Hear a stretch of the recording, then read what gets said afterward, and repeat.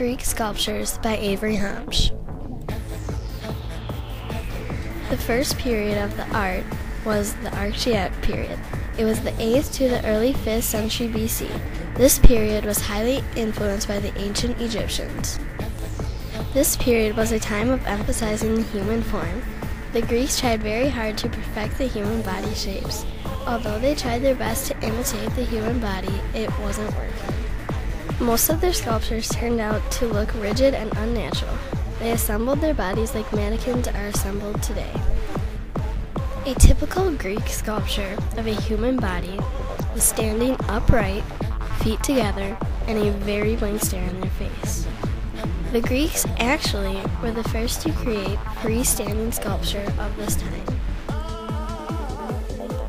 The second period of art is the classical period.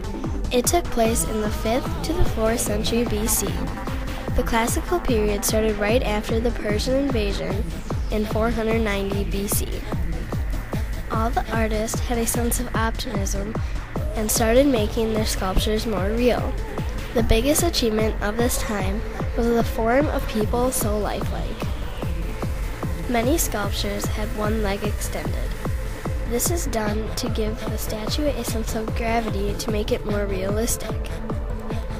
The discus thrower is one of the most famous sculptures in Greek by the artist Myron. You can find this famous sculpture in the National Museum of Rome. Myron did an excellent job of creating a natural athlete looking figure. The muscles were flexing as if he was just about to release the discus. The last main period of art is the Hellenistic period. This period started at the end of the 4th century all the way till the Roman invasion in the 1st century BC. During this period, as the Greek Empire expanded, so did the Greek art. Greek art was spreading worldwide. In this period, artists started to emphasize the movement of the human body. The Nike of Samarra statue is claimed to be the masterpiece of the Hellenistic period because of its dynamic movement.